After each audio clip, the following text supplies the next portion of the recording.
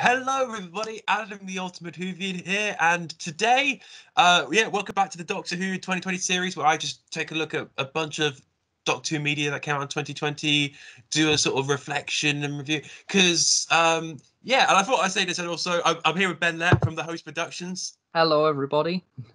He, he's helping me guide my way through for the big finish because there, there's oh man, I, I, I felt like uh, for for I think definitely for big finish and just in Doctor Who in general, we were overwhelmed with like content, and I and I still I still feel like I'm gonna miss out like on a few Every things from like hit. single, yeah. It's a Yeah. track to do. I know. So yeah, we're gonna try and get through as many releases as possible and reflect and uh, just just have a good time with it, really. So yeah, I think what I'm gonna do is I'm gonna start with the main range, pretty much the monthly uh, adventures. I've got, I think, um, from start to finish, I uh, I believe I've got this right. So I'm gonna go Dark Universe, The Psychic Circus, Subterfuge, Cry of the Vultriss, Scorched Earth, The Lovecraft Invasion, Time Apart, Thin Time slash Madquake, The Flying Dutchman, and Displaced. I want to Yeah. say That's that's two together. both one and two of Shadow of the Daleks, uh, Plight of the Pimpernel, and The Grey Man of the Mountain. Uh, so yeah, um, were there any of those stories or uh, any other adventures that uh, were highlights for you, Ben? no, they're all awful. it's actually it's really and I knew this would happen and I really hate it because obviously the main range is ending in 2021, March 2021. And I knew that they would do it where the last year they would seem to put a load of effort into it. And then by the very end you would kind of think, Oh, I don't want it to end now. I really don't. And it's the, the thing with the range this year is there's always stories that you will either really, really like or you'll think, oh, that wasn't as good because it's catering to lots of different audiences. But this year, I do think that, and a very rare thing, because I've been reviewing them, I think, since 2016, each Doctor has actually had something to kind of home in on and go, you know what, that was a really good story for them. And I think that's Paul, um, not Paul even, um, Peter had a few good ones. Uh, Time Apart um, was quite strong as well as the uh, Thin Time Madquake, because obviously we had the Slovene in there, um, which was very good for a new series audience kind of story, and dealing with the kind of result of the last trilogy with a companion called Mark and the Cybermen, which is quite cool. The Sixth Doctor, there's naturally obviously been Lords that are brilliant for him, obviously. Um, in particular, highlights Scorched Earth and Plight of the Pimpernel. Um, those are both written by Chris Chapman, both lovely historical stories focused on character. Um, excellently written with the Sixth Doctor, an equally Lovecraftian version as well. Um, a really interesting experimental story covering a rather controversial writer. And then for the Seventh Doctor, um, which um, I've not put the review up yet, but the Grey Man of the Mountain, very, very strong. And Jon Culshaw does a very good job as the Brigadier as well. You kind of forget that it isn't the genuine character. He gets that personality almost down to a T. Ooh, yeah. I I've been very. I've that was one I've been very tempted by the Grey Man of the Mountain just to see how because um I quite liked I, I quite enjoyed Battlefield as a TV story um and I quite I quite like that. I mean, you know those guys along with Bambera and um Ancelyn like you know what a team. Uh, so those three I think would that would be quite fun. And I think yeah, Jon Culshaw does great. There's I've only listened to one. Well, actually, one and a bit of the. I, I listened to uh, sort of highlights of Month of Rage, but the first full story I've listened to is Dark Universe because I feel Oh. like with that one, um, it had a childhood's end ace on it, and I Yeah. suppose around that time, the season 26 box set was coming out, but also a childhood's end. So I almost thought it was going to be like the dawn of this kind of new era for Ace and um, TV spin-off. Mm, but um, just because I, I think maybe that's where they're going, and it felt strange that all of that content was coming out around that similar time. So I thought I have Mm. to give it a go, and I really like uh, Mark Bonnar as the Eleven. Um, that I think he was great, and it acts as a I suppose almost prequel to Doom Coalition, which I did, did get uh, a while back, and they think they've it's nice because at the end I think they've incorporated that because McCoy makes a cameo at the beginning of Doom Coalition, and they've worked that scene into the end of that one. I thought all that, was- that the way they tied that in, and that way that story was done, because he because I remember correctly, because it was right at the beginning of the year, McCoy almost acts like a narrator this, during that story, doesn't he?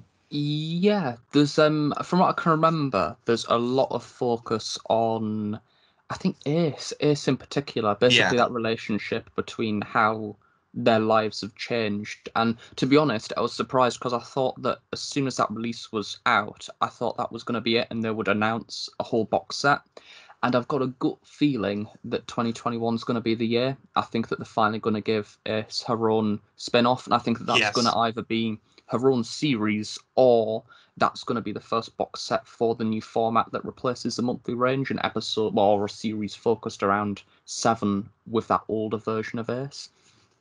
Mm, yeah, because reading at Childhood's End and watching that trailer they did for season 26, I went, there's a lot, there's a lot of story potential, and I think that is still, I think it's still potentially getting further explored in other kind of uh, ways, really. And I, I think obviously Sophie Aldred is just absolutely up for for it anyway. I, I think she really likes this sort of new chapter in Ace's life being sort of explored. I think there was like a I went to the Curse of Fenric BFI screening, and I think there was like uh, Andrew Cutt was teasing. It's like it felt like kind of the end or a new beginning kind of thing. Because Mm. like um because like yeah, that's the thing. I you know.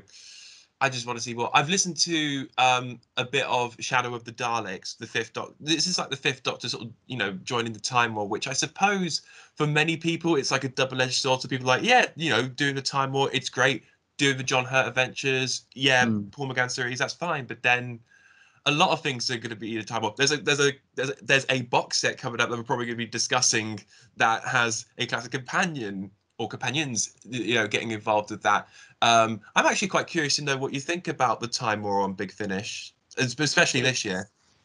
it's I do get where people are coming from. Um, but the, what I really like with Big Finish is that what you'll find is that they do all of these series. However, unlike a number of things like say the Eighth Doctor Adventures, they are purposely tailored to certain audiences. So say the War Master has a completely different production team to the likes of the Eighth Doctor Time War. I think that that's normally produced by um, the more regular Eighth Doctor classic directors, the likes of like Ken Bentley, David Richardson, and then the War Master is very modern. It's Scott Handcock. It's the similar lines to that of Torchwood, James Goss as well.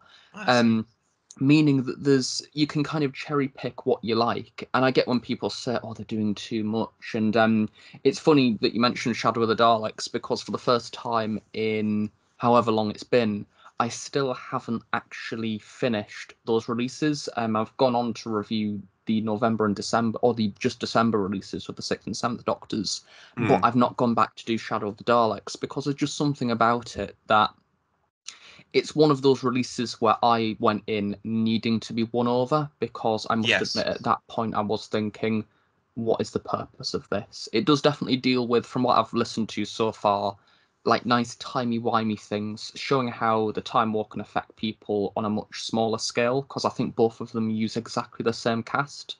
right. But other than that, it's um it'll be interesting, but I've not finished it yet.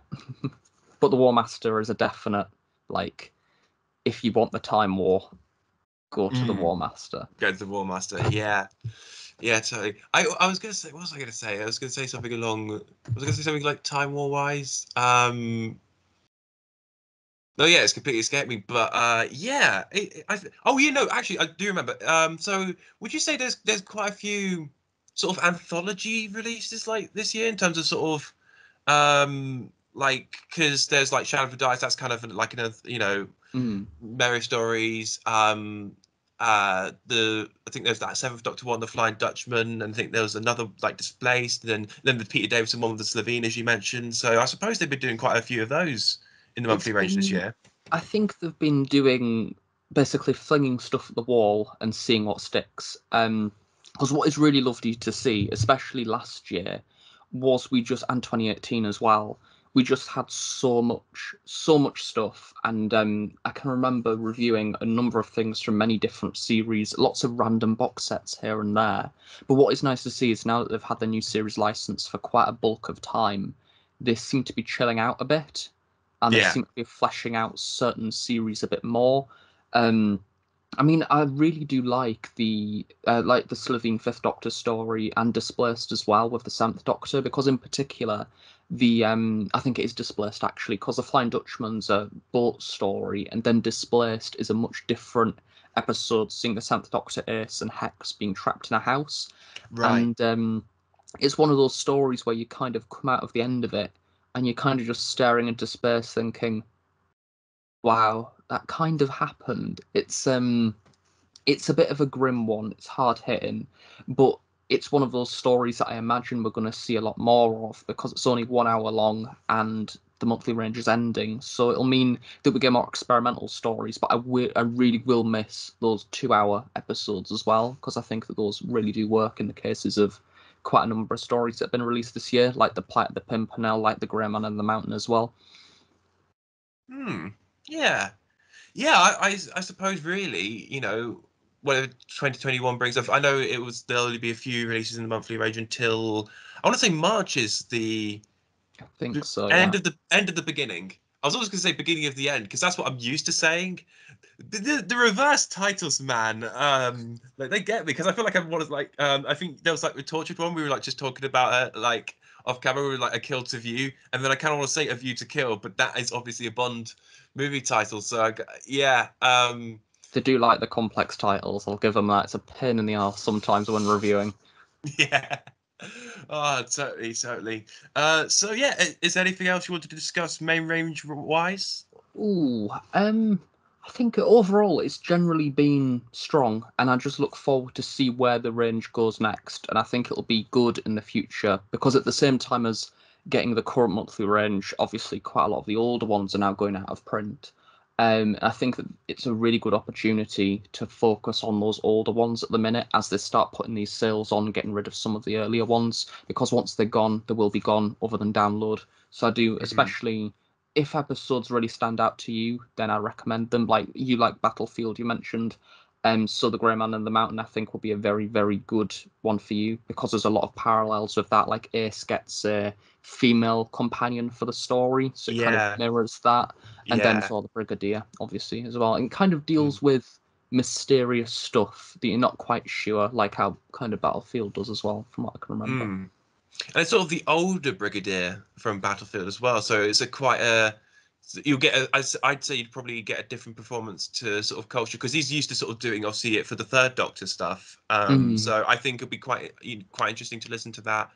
You know, obviously it's still the Brigadier, but it's obviously him uh, as he as he was more in that sort of the late eighties. Yeah. Uh, so I, I'm I'm very intrigued, very intrigued. So for the for the next category, I've done the Eighth Doctor. Uh, I think for the Eighth Doctor, not only has he appeared in his own box set and his own stuff, he's like cameoed in other stuff. So I've got Susan's War, the first Stranded box set, uh, Time War Four. Uh, I've put the um, the t- Time Lord Victorious trilogy. He kills me, kills me not. The enemy, my enemy, mutually, does- mutually assured destruction, and he does cameo in the War Master Hearts of Darkness. Or I say cameo, but like appearing rather. That's probably the right way to, to put it. Um, but It's yeah, very halfy half, the War Master. It's um it's one of those box sets. Again, it was a really pain in the ass to review because when you're there, you sat down, you just want to say about the entire plot. And the War Master, the one that's just came out, is one of those box sets where you need to avoid 80% of talking about the story because there's just so much going on. And it's one of those box sets where it's a very rare occasion where you get halfway through and you think, I've missed so much. And then you go back again and then you need to listen to it again. It's one of those ones that really benefits from multiple listens. Interesting. Very interesting. Yeah, I, I'm I'm very curious about. and I think it's coming. I don't know. I forgot the release date for it, but the one with Jo and Nyssa coming out. Hmm. There's the sixth one. Yeah, I forgot. I think it's is it Killing Time or something something like. Uh, whatever, whatever the next one is, but it does feature the older Jo and Nyssa, which I think that's that will be quite interesting because both have you know relationships, you know, with the with the master in terms, you know, Jo's always sort of encountered it during her time with the Doctor, and you know, Mm. uh, literally the master took on Nyssa's the appearance of Nyssa's father, Tremas, in Keeper of Traken.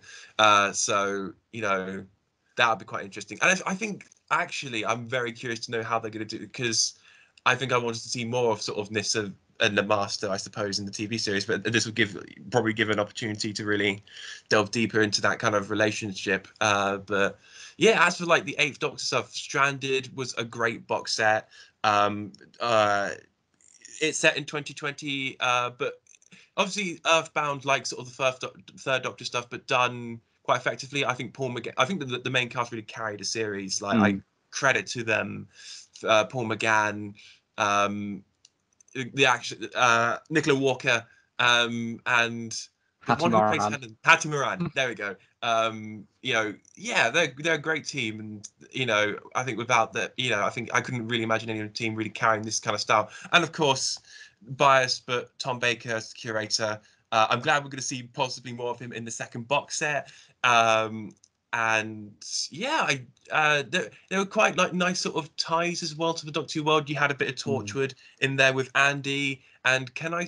Well, I don't know if I should say it, but um, uh, Tanya, Tanya, Tanya, yeah, uh, being tangled in, in that tortured web as well. I found that quite that quite that, that quite interesting. The box has been out for I'd say six months, so I could say I think Tanya, you know, has been involved with Torchwood. So and you the, know, the artwork is very pretty as well.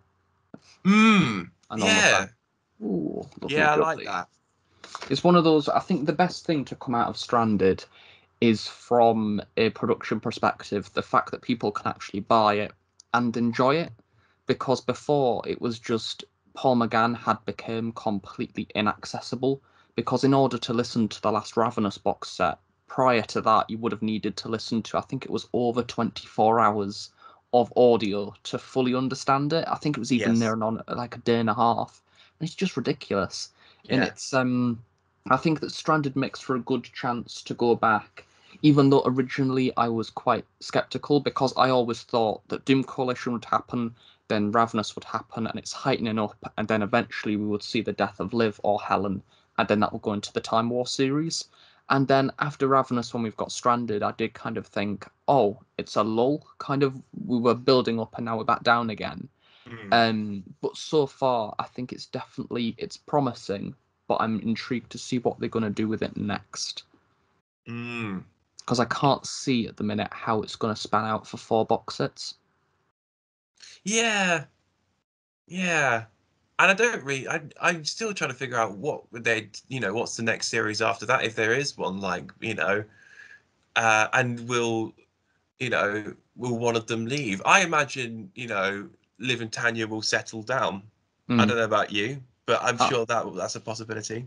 Oh yeah, I think that'll happen. And I think that Helen, I think Helen's going to meet her demise in some way. I just think that she's one of those characters where as soon as she stepped aboard the TARDIS, she was like, yeah, she's not stepping back out of that box alive and wandering off again. You know, she just seems to be. I feel like that's what Big Finish are going to do. I think that we're going down another early days of Big Finish route with rather grim endings, not to mention a certain Earth Doctor companion. Hmm. Yeah because I think uh, uh, at least on the cover, um, the Brigadier's in it. Hmm. Um, mm. That's gonna be quite interesting, um, and more of the curator. Um, I was quite, I am quite surprised that he, it wasn't, he, there wasn't a curator box set dedicated to the character. But I'm actually grateful and rather happy that he is cameoing. Is it's a cameo rather than mm. maybe his own because I I think that's the thing like you still don't you don't want to like give it completely away. You still want to leave it ambiguous, but you but there's still you still want to know enough to kind of go off on and be feel satisfied as a whole because that whole moment in the 50th obviously was a great moment for fans it's tom baker back on the big on the on the, on the tv screen and mm. on the mm. big screen because it uh, daily doctors in cinema and I, I suppose you know as uh, uh, you know as amazing and like ah crying everything it was great but uh you I still was also you know trying to really put the pieces together of who he was and how how this all kind of came to be and I, I'm sure that we'll get a few answers to that but hopefully not as many that completely gives the whole game away and ruins that very special moment. What I really like with um because he is the one thing that I always like to point out when it comes to audios is when they stick a character on the cover and then people buy it for that character. Uh, I think a good example of that was um, Narvin in the last War Master box set, where he was credited as being Narvin's back. He's with the War Master again, but Narvin's only in it for like ten minutes. and Oh, he's only right. like a little tiny, tiny role, and because they probably filmed it with some other stuff. And what I like with the curator, and what I was really surprised with, is from what I can remember, he is in episode one. He almost Yes. sees in the series, he introduces it, and the more he's kind of on screen, or the more he's within the scene, I suppose, he's um, the more ambiguous he gets, Mm. and he just kind of it. It does kind of reveal more mystery, and I think that like from the rest of the episodes of however many times he appears, he always needs to keep that role of being just in the background. And I think that possibly never meet the Eighth Doctor as well Mm. because he can't because we can't have his mind wiped again. No. No. And we've had like Paul McGann and Tom Baker together in Light at the End. So that's Mm. that's all that's all good. Um yeah, and I suppose otherwise I like the Time Lord Victorious trilogy. It's fun, it just showcases how great McGann can be. They're three completely different stories. Um and it's just great to hear a voice for Brian the Ood because as soon as I that was a thing in Time Lord Victorious, I just wanted to hear because Silas hmm. Carson has done the Ood obviously for the TV series, and I was like, and I, I already kind obviously I knew what Ood sounded like from watching the show, but like how Silas Carson was going to play this particular Ood, uh, yeah, him and McGann, like that was that was quite a highlight. I must I, I must say that it's, it's, it's it's great fun, and I think he you know Silas just like grabbed the script like he had really just it, it reveled in the kind of assassinness of this Ood who's really well dressed. I feel like Silas is the type of actor where you could literally listen to him reading out a shopping receipt and it would Yes. be great. He's just so. There's something about the voice, and every single Ood appearance I've seen so far or heard on Big Finish has been really good. Um, the War Master one is really good, and equally, it's even though I'm still undecided of what I actually think of Time Lord Victorious, by far the best thing about He Kills Me, He Kills Me Not is Brian. That is the selling point, and I think that it's actually a shame because I know he's in one of the other. I think is it the one that's narrated by Jacob Dudman? Yes, the Minds of Magnox, yeah. Is Silas doing that as well? Or I think it's just Jacob, um, but Hmm. they they sound eerily alike. See, I think it would be for Brian. From what I'm getting with his character, is they should have utilized the audio format more with him and had him in a few more episodes, um, because he's just so good and he's the best thing. So they should have used that to its strength. I totally agree with that. Like, uh, the more Brian, the merrier. Um, I've enjoyed, like, you know, when I've re- when I've read him in the, he's obviously because he features in the books and other things like that. Um, I look, I You get him on a just, coaster. yeah, and I. I think I'm sure a lot of people have done Titans, but uh, sorry, customs where they got that tenth Doctor tuxedo figure, took Tennant's head off, and put an Ood on it. I'm surprised they didn't do them because the figurine collection have been doing Time Lord Victorious figures, haven't they? I'm Mm. surprised that we've not seen a two pack yet. That's the tenth Doctor in his Gallifreyan garments, and then Brian the Ood. I think that is up and coming. I think it? that is. I think that is on the. T- I think that is on the timeline for next year. I think. Yeah. Ah, I thought it might be because Mm. it seems just so obvious. Yeah, but I, I, I hope character also maybe. I think it's quite easy for character to do. Just get that. Tu- yeah, as I say, tuxedo ten, put an Ood on it. Like you know. I'm I- I very, very so, surprised that we didn't get reprints of the Bronze Daleks for Time Lord Victorious. I really am. Mm, I thought they would have been involved. I really did. Um, but part of me is kind of glad that they're not, because in particular with the Big Finish sets last year, I think we've kind of seen enough of that sculpted bronze Dalek now for at least a couple of years. Mm. And I, I did cover. I've covered this in my Time Lord Victorious one. I'm not quite sure which one's going to go out first. It might be this one, might be Time Victorious. But um, I've got a Time Victorious video, uh, either up or not. But uh, we've kind of said that what Nicholas Briggs has done, and I, I think this is for the audios, but also for the Dalek series. Is like obviously there's different Daleks in Time Lord Victorious, and he Mm. does make them sound distinct, and particularly because with the audios, it's harder to tell which one's. It is. It's definitely. It, it definitely. He definitely does a really good job where you can tell. Oh, that Dalek is speaking, and that that you know, one because they're all they've all got different roles. There's like the strategist, the scientist, almost like the paradigms that we we were going to have in the TV series, but like now they've kind of done this. I I quite like I quite like So have you have you watched it? Have you done the Daleks TV series by any chance? Um, I've not. Uh, I've been too busy with uni. Um, it's, I'll, I'll admit I've not approached. I've listened to one time Lord Victorious, and that's it at the minute. I Because I'm see. hoping to go back. I'm thinking maybe in the future, once everything's out, then I'll listen to it all in the proper Mm. order. But what I like is um because I've heard a very similar thing online, the way that they differentiate in the different Dalek voices, and that's something they do in the Time War stuff as well. Yeah. Um, because in the Time War stuff, we've had the likes of the Dalek Admiral in I think Time War One, where it's like a Dalek that's undersea and doing all like uh, submarine stuff, and uh, the War uh, War Doctor series as well. There's lots of mental Daleks within that. There's like a um, the one that was released in figure form, I think it was. That one within the story was mental and had like all sort of stuff appendages coming off him and um, he was a crazy kind of Einstein-esque Dalek, and I think it's nice to have different voices in there. I think that Nicholas Briggs is definitely he's extended out and done more exciting stuff, which is nice.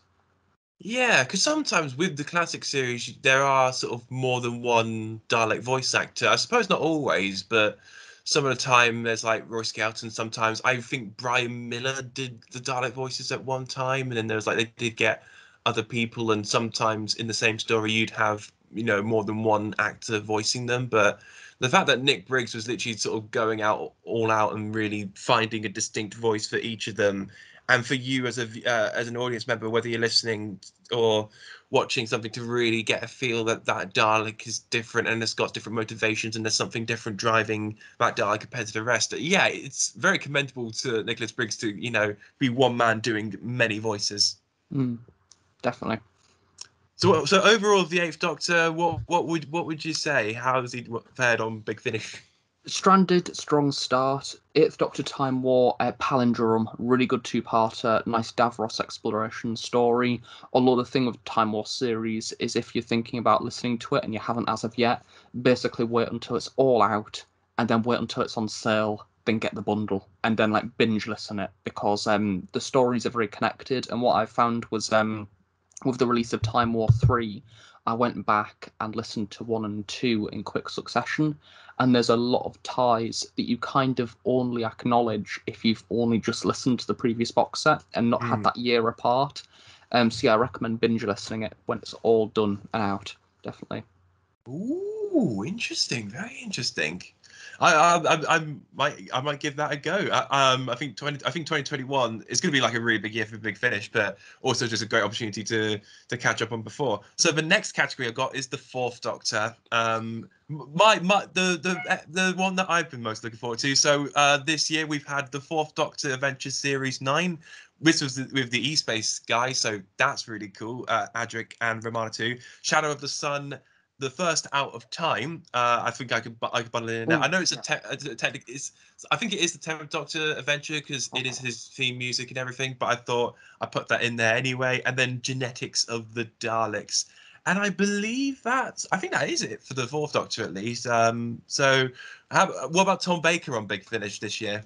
Out of time. That's what I'm going to dedicate my Yeah. time to. Um, yeah, go for it. out of time really good um it's one of those stories where if you are looking to get into audio then it's 10 quid. And i think that it's one of those stories that it could have very easily just been a regular multi-doctor story but it gets these doctors from a particular point within their time stream and goes right how can we put them together? How can we develop the characters? That whole concept of them both dealing with leaving someone behind and then i think that's it's just a nice way to it's a nice theme that underpins the story. The actual sciencey stuff is all right. It's kind of like it falls into new series doctor who kind of. It's the same format of the story itself and the sciencey things aren't the most exciting thing about it. It's the characters that drive it forward definitely.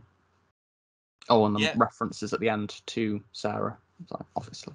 Oh, of course, absolutely. Yeah, no, I think this is a really well written story. Um, I was, you know, it was a big shock when it was announced. I think for a lot of people, and I think it, obviously it's that crossover that a lot of people sort of wanted. It's the most popular classic Doctor and one of the most popular modern Doctor coming together in a story with the most popular villain, the Daleks. So obviously this this was, you know, met with very high anticipation and what was going to be like, and it turned out a, you know, absolutely fantastic story uh, the interactions between the two are really nice. I like the fact that the tenth Doctor called himself John Tyler. Um, I think that was that was quite a nice moment, and there, there was some like uh, I think the fourth Doctor sort of looking at his um, almost sort of looking at tenth Doctor with raised eyebrow, sort of what he will eventually become and everything.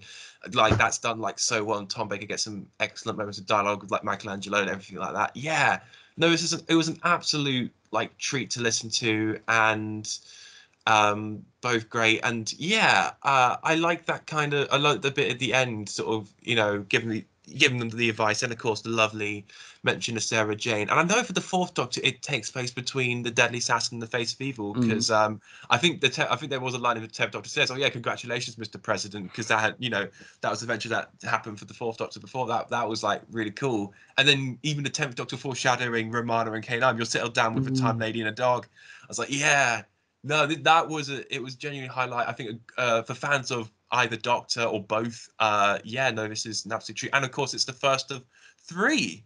Um, so I must admit, when they announced David for all of them, I was a bit, oh, okay, yeah, fair enough. Because I, I was honestly expecting another David Bradley with another classic series Doctor. expecting yeah. that. But I don't know what to think about David being across the whole board, all three stories. I just know that I'm very much looking forward to the 2022 six yes. and ten, uh, 10 one, definitely. Because they're fighting the Weeping Angels in that one, aren't we? And then there's the Fifth Doctor and the Cybermen next year. Mm. If I remember, yeah. So yeah, no, I'm curious, and I suppose it, it's. I uh, I hope they do keep that kind of specialness about it because it felt very special with the first one, and I you know I'm sure with the next, but you also don't want to sort of lose that what made sort of the first one special either. Uh, and I'm sure that will that will be the case, and that that, that they'll work their way. But uh, I really I think for a surprise by Shadow of the Sun, which is sort of a lockdown special, as it were. I think it was recorded yeah. in lockdown, and I think it was possibly going to be a story for an upcoming Fourth Doctor set, but they decided to do it as a little special now, and that was really cool. And you know, I bought it because it felt standalone and you know I like the Fourth Doctor leading K9, the kind of season fifteen crew, as it were. And I yeah, was... Uh, I think Shadow of the Sun will be one of those releases in the future where it basically it was one of those stories where it was of the time, it was of the moment. We've just entered this horrible situation. Let's make it better. We've made this. Go out and enjoy it. And I think that that in the future might be something that Big Finish will sort of take themselves up upon. And I think that we might start seeing random one hour releases because there's just something about it that's so nice to be able to go, you want to get into Big Finish, here's a Fourth Doctor story that you don't need to know anything beforehand. Go and enjoy it. It's only one hour long. It's very easy to follow. It's fun, and it just it's Doctor Who. You know, it's nice Doctor Who. Yeah, absolutely. Yeah, I, I think that that could definitely be something that Big Finish take on in the future. And uh, yeah, I think if it leads to like really cool standalone stuff that you know maybe for people who are um, it's harder for them to get into like box set stuff. If you just have this kind of one, like Shadow of the Sun, you, you pick it up and you listen to it. You, it's a it's a great Doctor story where you don't feel like, as you said, that sort of day and a half, that day and a half worth of like catch up is like you know you don't need to do that. You you pop that straight in. So it, it was it was great for that as well. And um, Robert Valentine did a great job with the story and the script. I loved it. Mm. Um, and Genetics of the Daleks was really cool. Uh, very sort of of the movie Alien. Um, that was it, it's a prequel to the Dalek escape room as part of the of Victorious event. Um, and yeah, no, that was cool as well. Have you listened to the Fourth Doctor Adventures series nine? I have, although it feels like ten years ago by this point.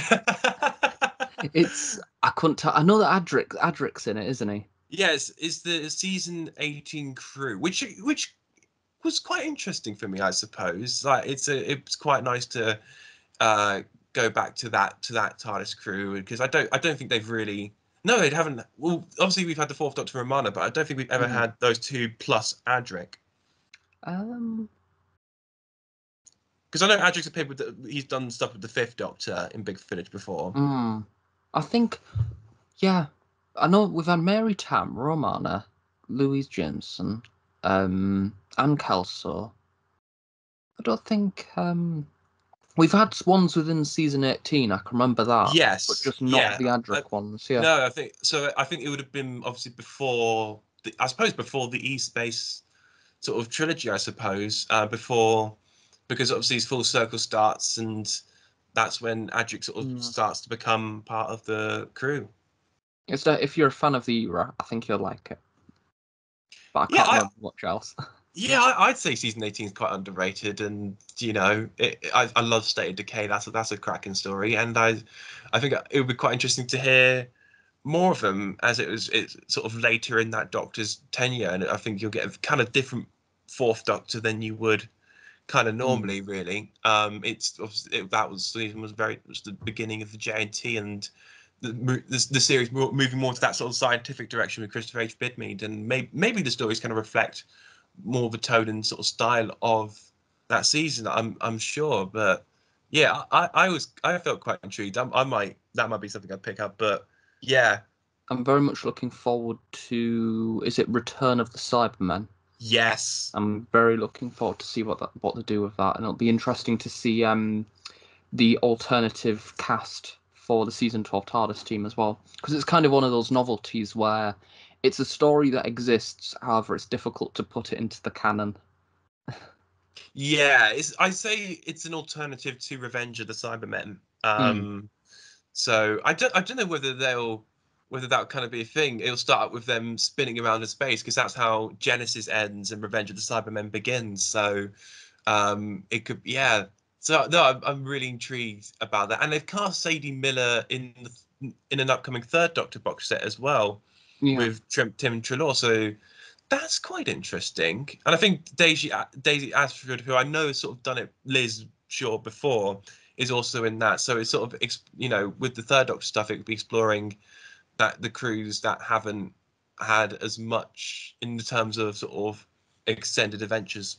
The um the third Doctor ones are I think probably one of the only ongoing current Big Finish series that I've literally not even touched because it's just one of those ones where I've not gone into it yet. Now I would like to at some point, um, especially because I know there was the third Doctor and Cyberman one a year or so back, which intrigues me. Um, and I think Katie Manning as well. I just want to hear more Katie because Katie's great. Yeah, absolutely. Yeah. Um, I've listened because Tim Treloar pops up in odd little things. Like I heard him. Actually, I suppose the first proper thing I heard of him because he pops up in Legacy of Time. Yeah. Uh, in the the Jo Grant slash Unit one. So, um, and I from what I've heard, it, it's quite good, and I think uh, you can kind of listen to it. and You can get into the mindset that yeah, this is the third Doctor. Um, not quite saying it's not Jon Pertwee, but you know, I don't think I don't I don't think the immersion's completely gone as well. I imagine that within, if Big Finish, which they probably will, but if Big Finish maintain the license over the next 10 years, because I believe it runs out, I think, in three or so years' time, whenever hopefully it gets extended, I think that within the next period of 10 years, we're most definitely going to see um, the new adventures of the likes of the first, like how we're seeing with David Bradley, but also the second and third Doctors, like proper full cast box sets. I think that will probably happen at some point. Yeah, it'll be it'll be very interesting. Uh, any any uh, sort of overall on the uh, the fourth Doctor?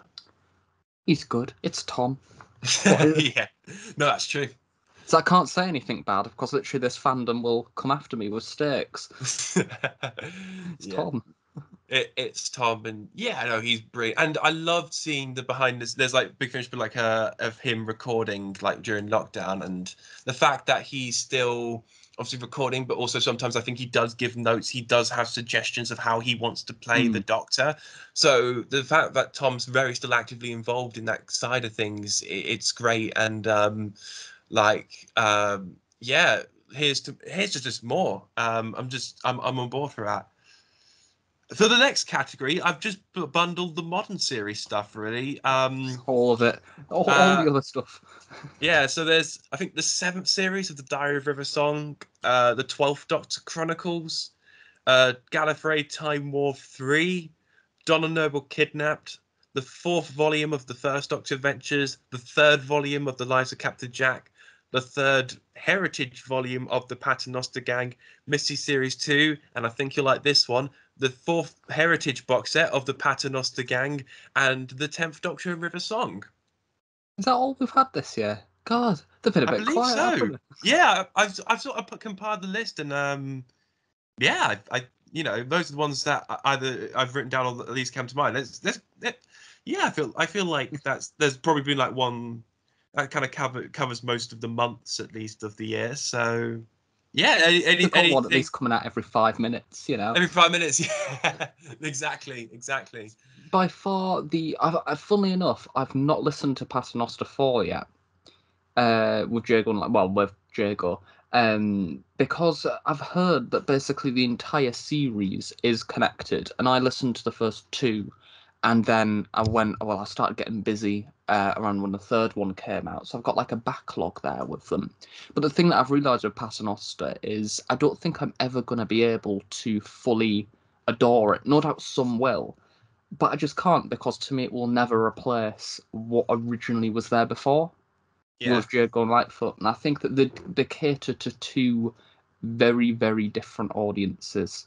And it's clear that the Paternoster Gang series is probably suited, which is very rare, but suited for a younger Big Finish listener. Yeah, no, I can totally see why you'd say that because the Paternoster Gang, I suppose, since they began, what's it, 2011, 2012, um, those guys that obviously a lot of people like, well, they're going to get a spin off. You know, Mm. they, they're, they're appearing it a lot. Um, the comedy's there. Obviously, I think it'd be quite manic for both Neve McIntosh and Dan Starkey with all the makeup and everything. And I suppose maybe uh, the budget as well to pull off Victorian London every, you know, every week, however many many episodes they do. Um, obviously, now this is their opportunity to sort of have that kind of series. So it, it's quite interesting, you know, coming into it now.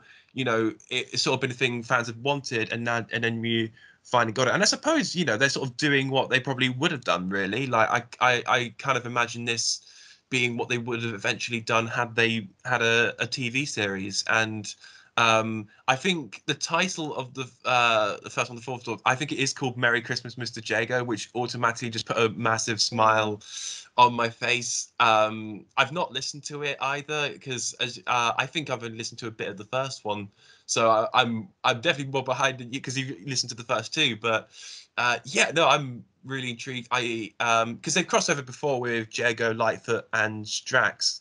Yes. Um, that Mm. that's quite fun. And then they've crossed over with obviously with plus Vastra and Jenny in that as well. So um, yeah, no, I, I it was it's they they it's a series that's very much intrigued me, and I'm sure like the writers and you know they're like oh you know these characters are quite you know beloved from that from that uh that Smith Capaldi era at the time, and here's them finally getting a chance to sort of you know carry on their adventures.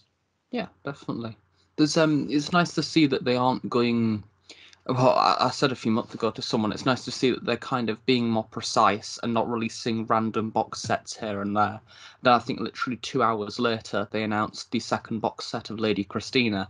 And I thought, ah, Yeah, and it's um it's uh, what it's always about what sells and to me is if they're doing a second box set of lady christina that must mean it's sold so you know because they wouldn't be making something at the end of the day that hasn't sold and i think that some of the ones that i have done in the past have um not worked as well i mean i personally decide what ones i'm going to review some of which um depend entirely on how much time i have uh, at that period um, but I think overall this year, Donna Noble, that was a decent one. Um, it was fun. Um, again, it was like just a boost, really. It's one of those ones that you kind of listen to if you like the era. Uh, Gallifrey Time War, I fell behind on. I have the box set somewhere, um, and it's just sat waiting for me to listen to, which I really need to get around to that because it's now nearly a whole year, and the next one comes out in I think February. Um, is that the one with Richard Armitage? yeah, my- it is. It is, yeah. It's going to be interesting.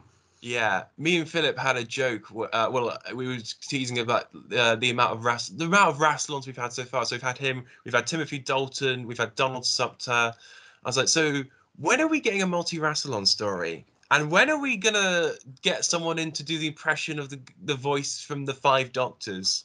This is the game of Rassilon. Just get them in. multi Rassilons. The James, Rassilon get James Bond back. Yeah, Donald Sumpter. Yeah, it'll be fun.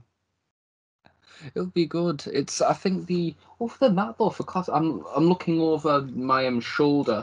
At any other? There's that one. Uh, Tenth Doctor River Song. That's kind of again. It's very much if you like the characters. Um, say if you like the Tenth Doctor, if you like River Song, then it's safe buying their series because you will always get something from it. Same with the Diary of River Song. Personally, I wasn't much of a fan of the character within the TV show. I've started to like her a bit more on Big Finish as she's interacted with some of the classic series doctors. And the only time that I kind of dip into that series is when there's something that directly interests me. So Right. before when Derek Jacobi appeared in it and they had the master stories, like that's something that I thought, oh, that'll be interesting. I'll dip in. It didn't matter that I hadn't seen anything else from that, um, from that series. It's um very much the thing about the new series box sets is you can cherry pick. I think that is good. Hmm. Yeah, it's quite interesting. Um, I so there was the second series of Missy that came Mm. out, and there's something in it that I'm not quite sure if I should say, but I'm sure is maybe probably been already sort of floating around the internet already. Is it the thing that begins with L Yeah, I think it is. Yeah, in episode one? yeah, Is it episode yeah, one? Hmm. yeah. The Missy series is.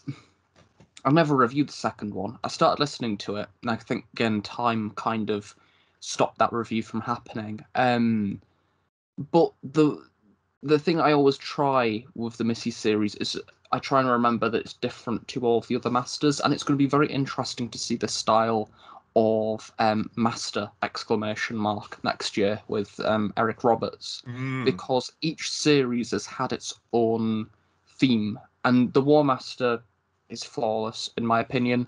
But Missy is still there's some fun stories in there, but I feel like they could be doing a lot more. I want purpose from the box sets. Like it just seems to be at the minute lots of random adventures. Like I would love one to take place directly after the events of World Enough and Time when she's just finished regenerating, establishing where the hell her TARDIS is, because one minute she has it, the next she doesn't. It's just there's lots of plot holes that they don't seem to want to fill up with Missy, and Big Finish avoiding plot holes and plot lines. It's rather odd. Yeah. Um, I know they probably won't do this, but I think there's still some contention around um, where Dhawan is coming. Where does he fit into the picture in terms of his master? Like some people saying, well, actually, it's before Missy because obviously the re- the, the redemption thing, or some people say no, actually, he's definitely after that. Like I don't, I don't. Big Fish. There might be a sly way to maybe uh, do that, or whether that is going to be a thing that the TV series actually does. But Mm. I suppose it never really. When Dhawan was revealed at the Master at the end of Spyfall, I suppose it. You know, I was kind of like, "Oh my god, it's the Master," and then I suppose it never really crossed my brain. I was like, "Well, wait, wait, Where's he from? you know, how, when, yeah, you know." I mean, uh, yeah. technically, he's um. There was so many incarnations before Delgado. yeah. Could he be? I can't remember the exact details of Spyfall. Is he a pre? Is it like it's like pre Hartnell's? Like is he a pre Delgado Master? God, imagine that. You've already had the fandom screaming over Ruth, and now this one. yeah. so, by the way, that one's before that one, and we don't mention DeFrias. No. Hmm. Yeah. Hmm. Uh, any anything any other? Well, actually, I suppose right now, um, any sort of further highlights from Big Finish from this year that you can remember? I've got two actually. Um, this is from across the board because I was looking back before doing this. What ones I've actually reviewed? Because 2020 has been that much of a mind boggle. I couldn't actually remember what was came out this year, and probably a spoiler for when I eventually do my top 10 for this year. Don't know when that's happening. It will happen eventually. Tropical Beach Sounds and Relaxing Seascapes 4 by Tim Foley from Torchwood. It is um, starring Sir Michael Palin as Sir Michael Palin. It's just perfection. It's I can't say anything else. It kind of takes the um, theme of a motivational, you are important, you are loved kind of thing. Uh, and it's that throughout the whole story. It's experimental and it's um I said in the review, which looking back was probably quite cringy, it's not listening to an audio drama, it's an experience. Which I think that's what you get from that story. So I do definitely recommend that one. Um Torchwood Soho Parasite as well. Um, if you like more obscure Torchwood, that's quite a lot of fun. Got lots of personality. Uh, the Sixth Doctor and Peri. Uh, that one's if you like the era again. It's a good development of the relationship between the Sixth Doctor and Peri. And I imagine that when we see the end of the monthly range, this is probably what Big Finish is going to start to look like a lot more. Um, just these big four-part box sets, and then probably one final mention: Torchwood Dissected as well, starring Freema Agyeman, which I constantly forget actually exists because it's like, oh yeah, Martha's done a Big Finish. It's like we seem to we seem to all forget, including myself. But yeah, that one. Um, I imagine it won't be the last we'll see of Martha. I think that the next 10th Doctor volume of stories, if they continue the volume format, will probably be set within Series 3, I hope. Um, but yeah, I recommend that one again. But obviously, Torchwood has sweary adult things in, so only listen to that one if you're above the age of whatever. mm. I was going to cover Torchwood, but I think we've kind of covered at least the the bit the, the main ones, like the one with Sir Michael Palin and the one with Freema Agyeman. Like you know, that's it. I I've I've not listened to any Torchwood this year either, so I'm I I wouldn't be. I there's like so many sort of more monthly stuff. I think didn't that John Hart box set come out this year, or was it maybe last year? Um, the John Hurt. Oh, it was John Hart. John Hart. John. Oh, I thought I thought you were thinking John Hurt. Um, John I, no, Hart. I was yeah, Sins, say, Sins of Captain John. There that, we go. There we are. That's the one. The, yeah, I keep forgetting about that one. Um, I've heard it. I've heard it's good.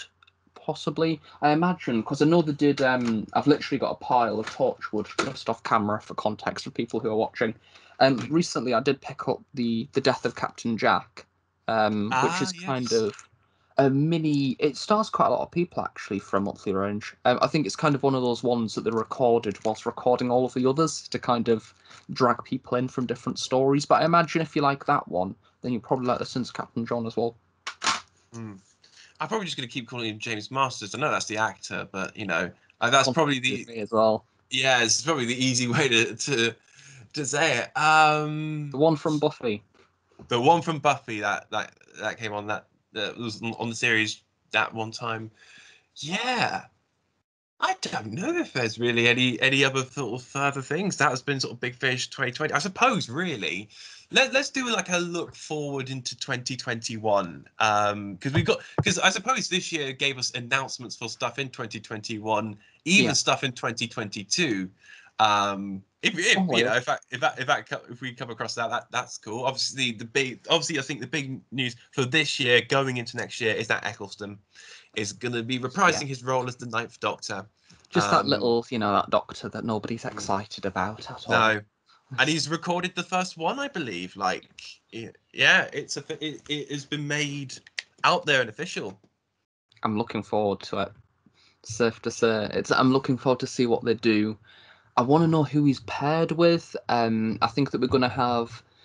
Um, at this point, I don't think we're going to get a Barrowman story between them. As much as I would love one, um, I feel like, to be honest, even the likelihood at this point of having Billie Piper alongside him seems quite slim. Um, all I do want is a Cyberman story between mm. them, preferably classic Cybermen. Maybe even Van Statten. That would be quite cool, like that revenge design uh, to kind of hark back to that. And um, maybe the format as well. I, have mentioned this on Twitter, and it's such a small little thing, but I just want them to use at the end of each story.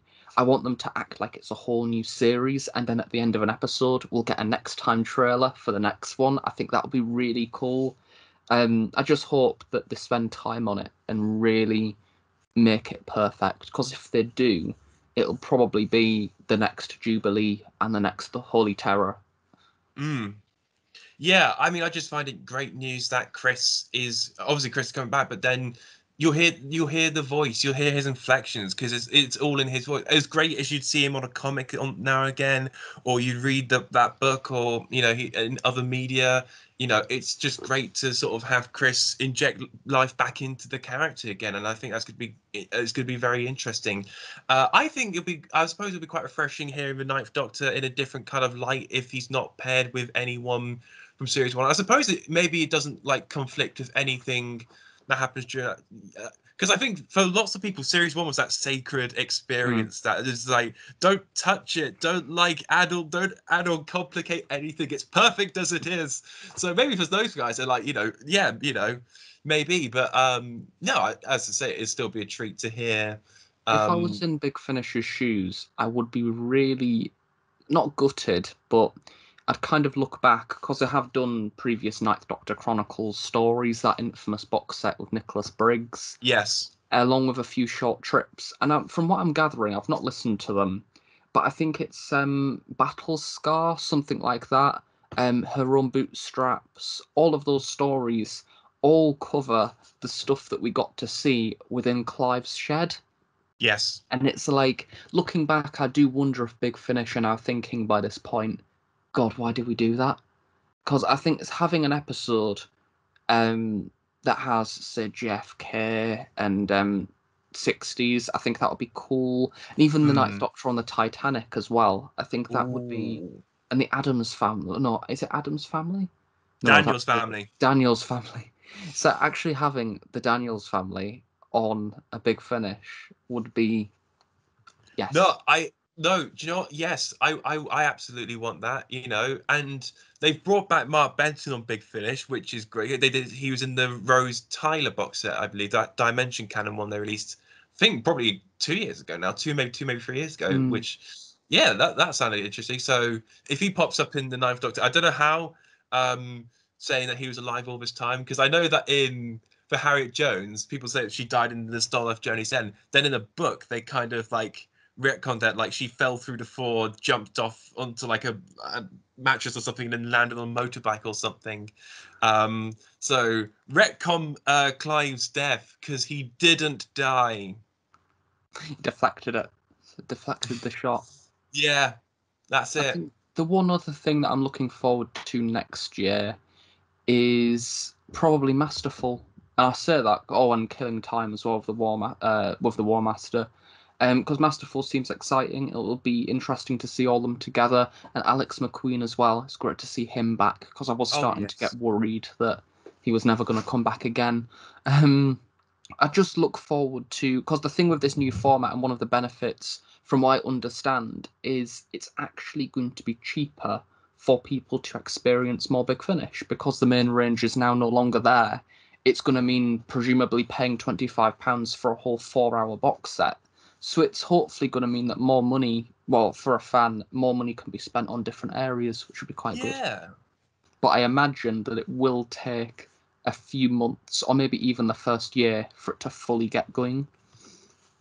Uh, yeah, no, I that that's a good point actually. Yeah, I suppose it could be. And for this box I suppose it's John Simm's debut for his master on Big Finish, so that will be interesting. And he's pretty much starting. He's gone right the deep end where he's pretty much into starting in the story with all the surviving actors that have played the master. That's that's quite a. So I don't know whether they'll do any more of his master going forward, but I think now that they have got him, I suppose it opens the possibility at least. Mm. I do wonder if, because um, obviously it's the big year of the Master, and we've already seen a few bits of merchandise being released to celebrate his anniversary. Um, so I do wonder if maybe the next series of Doctor Who had, for Jodie's era at least, may even have that in mind, and maybe the Timeless Children thing may be linking into the Master's anniversary in some way mm. as well. So it'll be interesting to see. Yeah, we're getting his debut season on Blu-ray I'm very excited about that. Um, and the one watching Delgado, that's quite that's quite a treat, I think, in it in itself. So yeah, I think yeah, it'll be, it'll be quite eventful, I suppose. Like the big finish, the the Blu-ray. Yeah, I, I think you know that'd be a quite a celebration. It's a celebration because you could you could do an anniversary for everything. You could do uh, um, I think well technically this year at the beginning of this year it was 50 years since Jon Pertwee started as the Doctor, and um, you could I think there was like 50 years of assignment stuff like that. There's uh, many anniversaries you could do for like just various you know Wasn't events and characters. Sontarans as well recently? Yeah, I think it was 45-ish, 46-ish years, I think, since the Time Warrior. Um, I can't believe maybe in a few years' time, it's probably going to be 50 years since Tom started. God. That's when I bring out the birthday cake and everything uh, for that. Um, you'll be glorious. But yeah, also we got Dalek Universe, I suppose, next Yeah, year indeed. as well. It'll be Um, interesting to see what hype there is for David Tennant because a lot of people are saying the market's oversaturated with him at the minute. So it'll be interesting to see what happens with that. I'm looking forward to the prequel at least, or uh, which has got like a Death to the Daleks thing. I think Bellal's on the cover. I went, no way, no way. Are they? Are they? Are they Bring bringing back him back? Imagine Right. that. Um, I suppose it'll be set on Exxilon, and it's the Fourth Doctor and Leela and K9. I'd actually love for the, I don't know what the stories would entail, but just Bellal the series. Yeah, I can't believe they haven't a series called I Alpha Centauri, or like a Peladon, like stuff on Peladon. Um, Ysanne Churchman came back for that little bit in Empress of Mars, which is great. Like, One of the best things that have happened within the show. Yes, I, I was like, threw my fist in the air, like, yes. Oh, I couldn't believe it. Like, it, and it was kept a surprise. That, that's the thing with some surprises. Like, oh, um, you find out before um, John Simm coming back in the World Enough Time, everything like that. But that was like, nope, had no clue. And I So was do you think Mark Gatiss just sat down and was like, Stephen, I've got an idea. He's like, Yeah, what's your idea? It's like Alpha Centauri. It's like, no. Yeah, Yeah. I know. Yeah. Do you know what? I don't know if I had a louder reaction to that than when Jack came back, which is so bad. But I think maybe Each to their own. I, I know. So, what do you prefer, the Alpha Centauri or Jack? Is it well, which one are you more inclined to? But um, yeah. Ah, I'm. Do you know what? I'm picturing uh, fugitive, what fugitive, fugitive of the Judoon. That scene when he's like, "Oh, you missed me, right?" But imagining different companions, and then the one I came across was K9, Folks, so the one I came across was Alpha He Centauri. just like slides on the floor towards Graham, just like hello. So I've got my legs back. I'm not the one from that horrible Australian series. okay. Have- Have you seen Madquake yet? I certainly haven't. Do you know? Okay, this this, this is just for fun, and I, I I don't mind going off topic for a bit. If you were to replace Jack with another companion in that scene where he he, he arrives in the spaceship and goes up to Graham, who would Hmm. you put instead of Jack? Do you know I'm picturing it in my head now? And I think this works so well. Frobisher. Yep. Just there with a panel, then he turns around and goes, You miss me, Doc? The, the, the beautiful thing is, anybody who hasn't listened to the Holy Terror will be like, yeah. so, who the hell is it? So why is there a penguin? oh yeah. great. Then it'll Mm. just come up at the end, like when the titles roll. It's like, and for more adventures with Frobisher the Penguin, why not check out Big Finish? That'd be great. Kamelion would be fun. Um, But using the same Kamelion from the 80s. Like, don't actually make it any more modern. Just use the same one with the weird eyes. the possibilities are endless, but um, this is not to take away the excitement that Jack came back this year. But you know, I said I I was just like thinking, how fun would it be if instead of Jack, it would be X, like whoever whoever really. So if it was a Drashig that like suddenly like But not, Like- not even from the TV show, just the puppet. yeah, many possibilities. So yeah.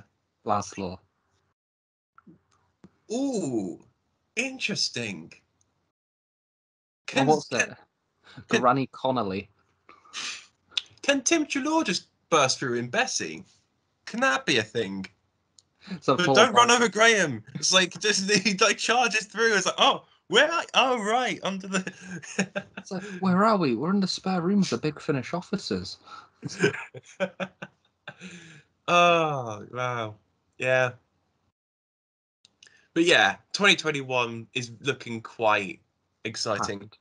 And Pat, yeah, many money. I suppose many monies will be spent. Many hours will be spent listening to many different audio dramas from many different actors from many different corners of Doctor Who, whether it be classic, whether it be modern, whether it be Torchwood, whether um, we'll get I Alpha Centauri. Please, I'll write it. I'll um, you know. I'll star in it. I'll direct it. I'll produce it. I'll do the casting. which is funny with the I was thinking Peladon series but because when Curse Peladon went out, I think that we just joined the European Union. Mm.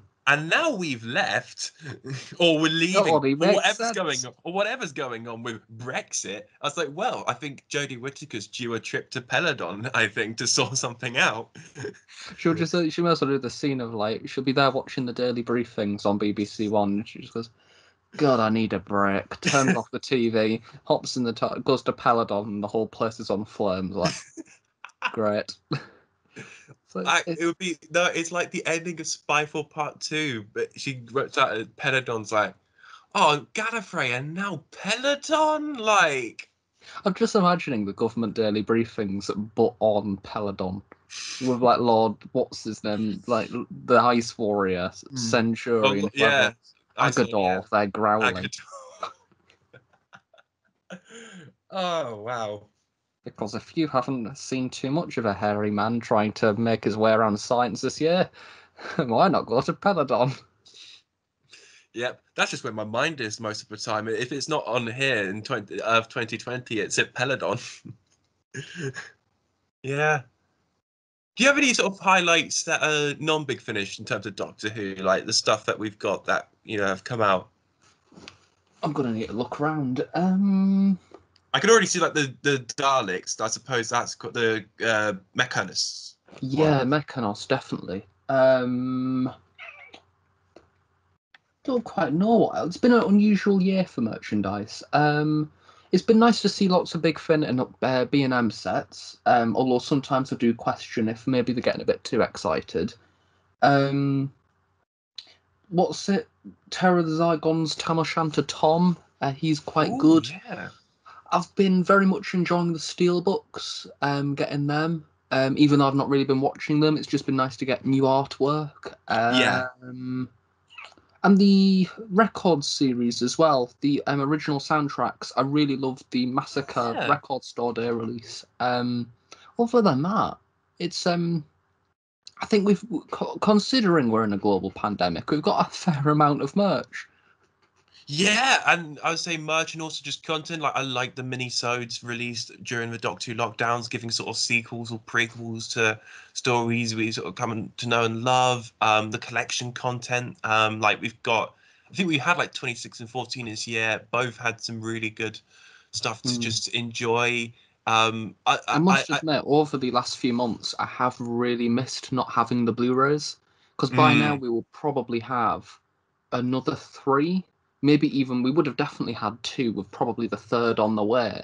You know, Mm. so I'm just looking up at them now, and I do really miss getting them and like having them because, you know, it's it's a nice way to look back and binge watch a whole era, and you know, Mm. With so much extra new stuff. Um, like I'm looking forward to the Daemons, uh, them going to Devil's End because that's a great location. Um, and the behind the sofas, like Dewar watching Delgado is like going to be quite really fascinating. And um, like, yeah, um, I really like the trailer as well that they did with uh, Jo and Clifford. Uh, Mm. I think that should big finish. That's another series. That's I have a another series they could do. I have a good feeling about that. I do think it's going to happen eventually. Because it's Pete McTighe or Teague. I don't. I, I don't know which way I go about it. Who wrote Kerblam and Praxeus? Who have written that stuff, and they're great. And even the A stuff. It's sort of the stuff you stuff you do see for the Blu-ray trailers. You're like, yep, that's that's a spin-off. That's a spin-off. To Javanka Airlines, that's a spin-off. Um, yeah. Watch it. TARDIS Wiki is on flames. It's like, what do we do? How do we canonize all this? Yeah, no, Pete Pete McTeague is kind of like you know he's a genius in that way because he's just like writing all this mini like material for the Blu-rays as like promotional stuff, but then you know it's kind of like well if this ever gets a series, maybe you know he he could be like, on board to like show run or write or what have you. Like you know, Fury from the Deep as well. I've just remembered that's a worthy mention. Fury from Yes. the Deep. yeah. And then we had earlier the the faceless ones. Um, yeah, My I one thought- hope for the missing series is obviously we're getting Abominable. No, I wish we were getting Abominable. We're getting Web of Fear next year, yes, which um I, I mean I'm looking forward to. It'll be nice to see that episode animated. Um, but I, I just hope I want to see a Hartnell. I really do. me too. I just want a Hartnell because as much as I do love seeing the Patrick shelf getting bigger, I just I want a Hartnell story. I want some Hartnell stuff.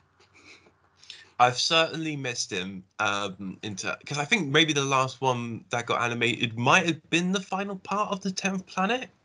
Mm. I don't think we've had any since. I don't know whether that came first or if Reign of Terror did, but they came out I think around the same time.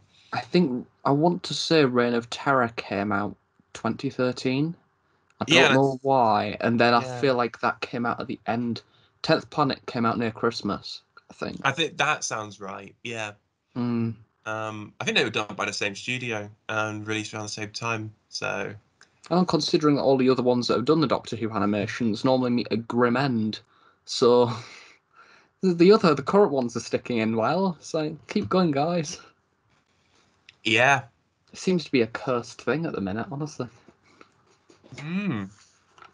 So yeah, I think that practically, I think we've covered anything. Any final words or thoughts in terms of Doctor Who in Um, 2020?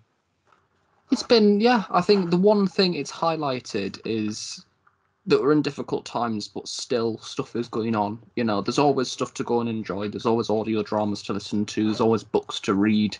Time Lord Victorious to try and get your head round and plot a graph over. You know, there's always something. I think that's the variety. And even if you don't like experiencing audios and books, there's action figures and the figurine collection and Pudsey Bears that I've definitely not pre-ordered for next year you know, and everything else. And like, it's just, it's good. There's lots of stuff out there to enjoy, and I recommend being as open as possible when it comes to whatever you purchase. Oh, and Big Oh. Chief Colin as well getting announced as well. Yeah, we had a peek. I don't know if I could like add any. I think you've summed it up pretty well. It's like that's just left me to say, yeah. No, I, I, I felt, I, I feel like spoiled, which is probably why the genesis of this sort of little series, just trying to cover as much as I possibly can. And even then, like there'll still be like the odd thing. Oh, but you didn't cover this, and like ah, it's still good though, probably. Um, yeah, it's whatever. always I- good.